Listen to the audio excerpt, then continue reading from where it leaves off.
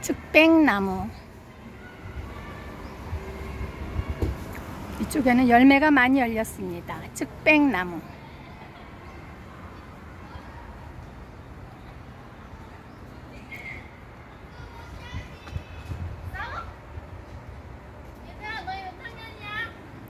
측백나무? 측백나무 왜? 이쪽에 열매가 씨가 많이 달렸습니다. 측백나무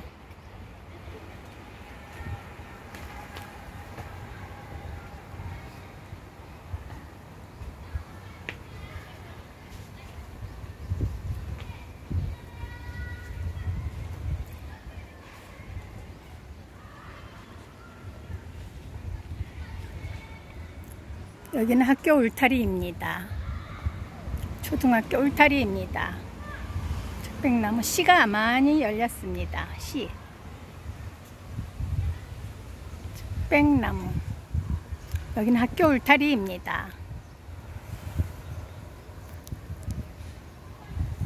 지금 바람이 불고 있습니다.